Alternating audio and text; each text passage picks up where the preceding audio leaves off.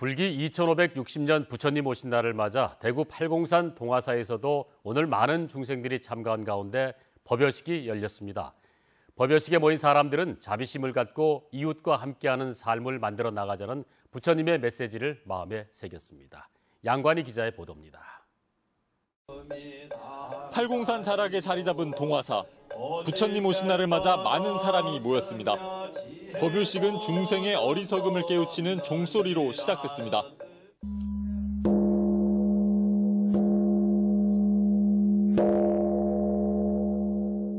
해탈, 지혜, 수행 등을 상징하는 향, 등, 꽃 등을 부처님에게 드리는 육법 공양, 스님에게 귀의한다는 의식인 삼귀의가 차례로 진행됐습니다. 올해 부처님 오신 날의 말씀은 자비로운 마음 풍요로운 세상. 법어를 대독한 효광 스님은 직분에 충실하고 이웃과 함께하는 삶을 설파했습니다. 남북한 동포들이 조국 강산에서 각자 맡은 바 직분에 충실할 때 그날이 바로 부처님 오신 날입니다.